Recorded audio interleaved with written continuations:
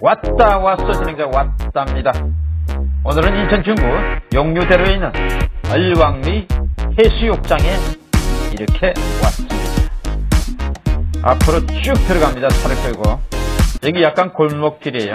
골목길 접어들 때에 내려다가는 잘못하면 사고가 날 수 있으니까 그리고 바다로 직전한 줄 알았네. 오른쪽으로 쭉 먼저 들어가겠습니다. 오른쪽에 쭉 들어가면서 여러분 얼핏 본거 있죠? 그 식당들. 자 오른쪽 끝까지 왔습니다. 여기에 잠시 주차를 해서 끝에서 끝까지 봅니다. 그래야만이 뭐가 있나 이거 다 아는 거죠.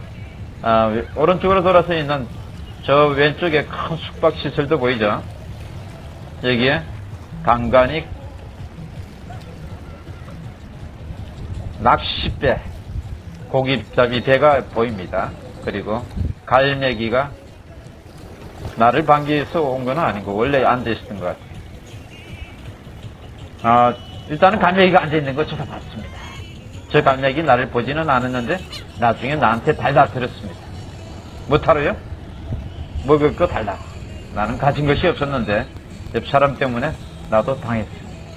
어쨌거나 이렇게 오른쪽으로 쭉 돌면은 이렇게 얼왕리 해수욕장 오른쪽 오솔입니다.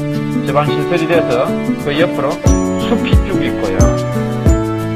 이렇게 큰 바위들도 멋있게 있습니다. 사람들이 저기에 나가서 놀고도 있고요. 저 오른쪽 소나무 보이죠? 소나무 숲에 올라가셔서 쉬실 수도 있고 잠깐 휴식하실 수도 있습니다.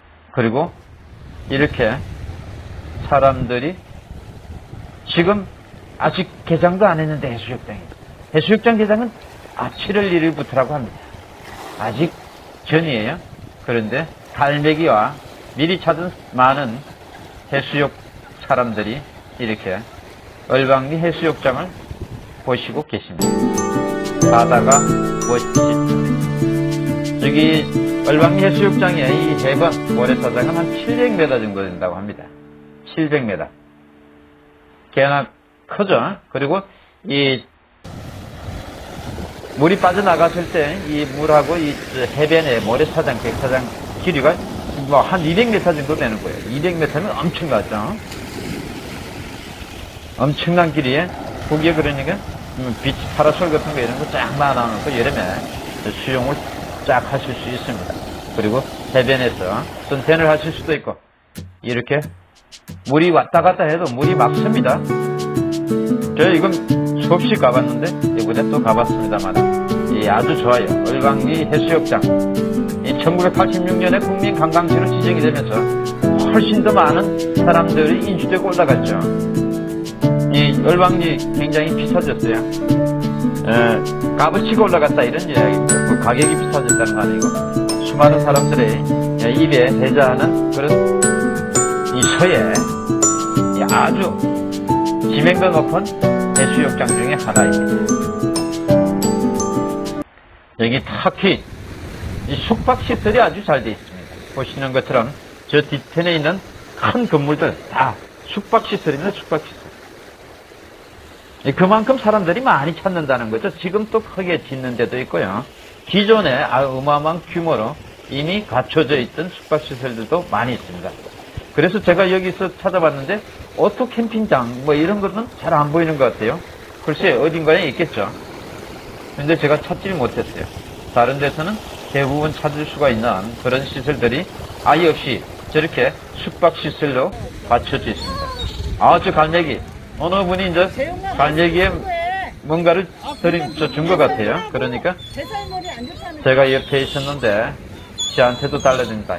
야, 이놈아, 뭐 좀 먹을 거 달라. 이러는데 저는 가진 게 없어요. 그 준비를 하지 못했어요. 미리 생각 못했는데 갈매기들이 저를 갖다가 막 쏘려고 했는데 잠깐 끔찍했습니다. 막 달려들죠 이렇게 제 앞으로 막 날라옵니다.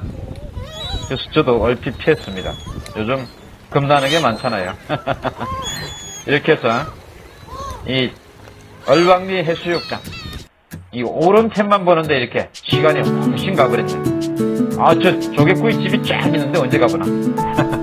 이 얼왕리 해수욕장에 백리 중에 백리 하나는 이 해수욕장 오른쪽 끝에서 제 왼쪽 끝까지 뭐가 있습니까?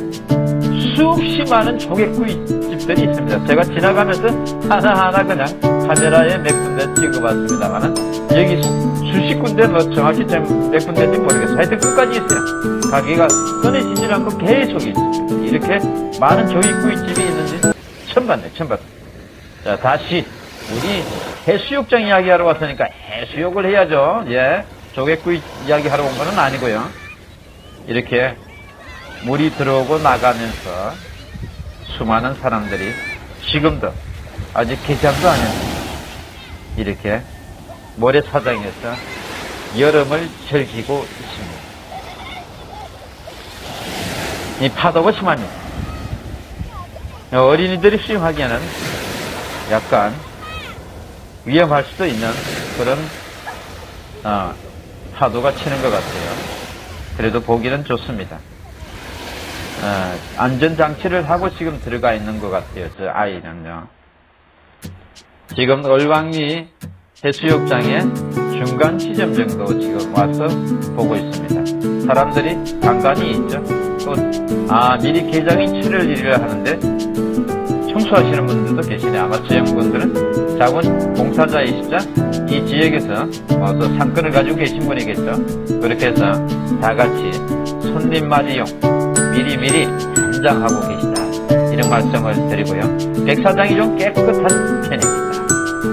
어디보다 좋은 말씀 안 하겠어요. 하여튼 깨끗해요. 굉장히 모래사장이 깨끗하고 그래서 아이들이 놀기에도 굉장히 좋습니다.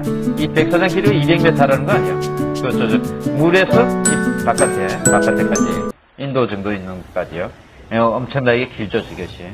물론 길이가 긴 거는 700m면 뭐, 큰 길이는 아닌데, 이 백사장이 길다. 이 폭이 높다. 이렇게 말씀드릴 수 있습니다. 이 중앙 부분입니다.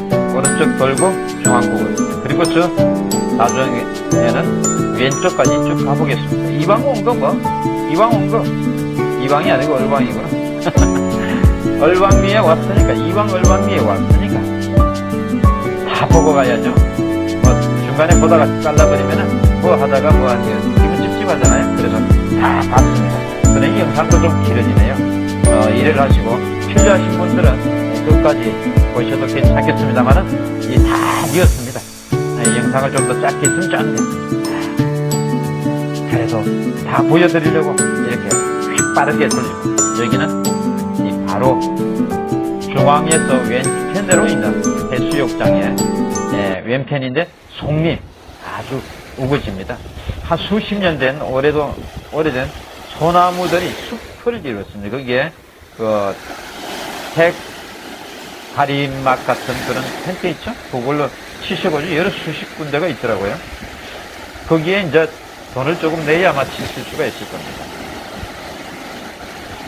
해수욕장에 밀려오는 파도 소리가 멋있습니다.